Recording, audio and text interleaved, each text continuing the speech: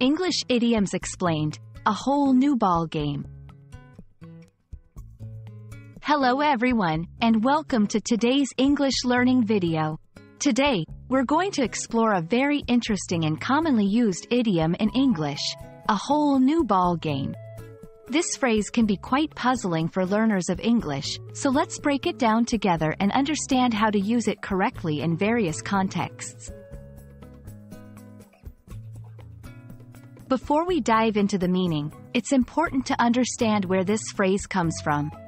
The idiom, a whole new ball game, has its roots in American sports, particularly baseball. But don't worry, you don't need to be a sports fan to understand its meaning in everyday English.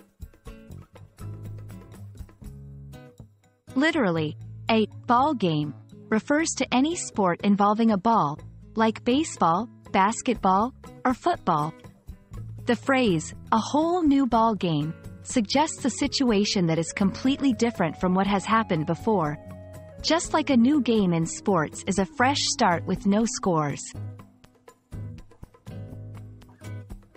Figuratively, when someone says, it's a whole new ball game, they mean that the situation has changed significantly. It's used to describe a scenario that is different from what was expected or previously experienced, often implying new challenges or rules.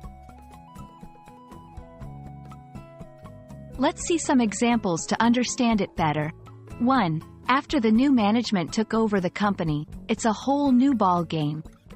2. Moving from a small town to a big city is a whole new ball game for me.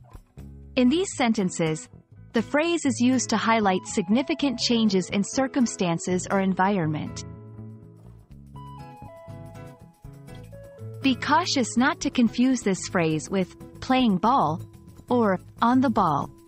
While they are also sports-related idioms, their meanings are entirely different.